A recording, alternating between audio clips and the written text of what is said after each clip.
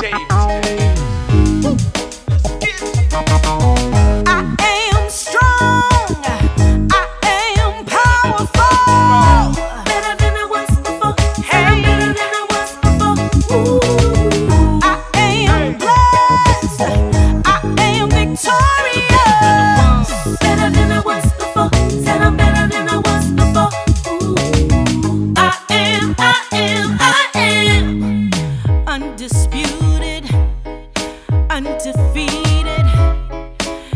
every trial, he succeeded in compromise.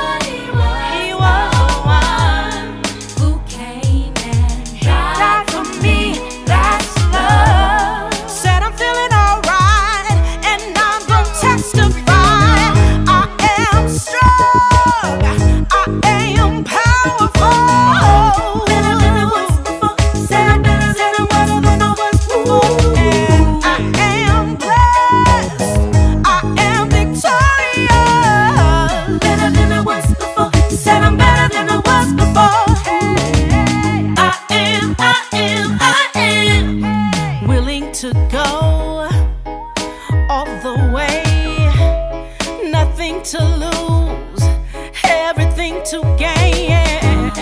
Whatever follows, I am. We'll come and look.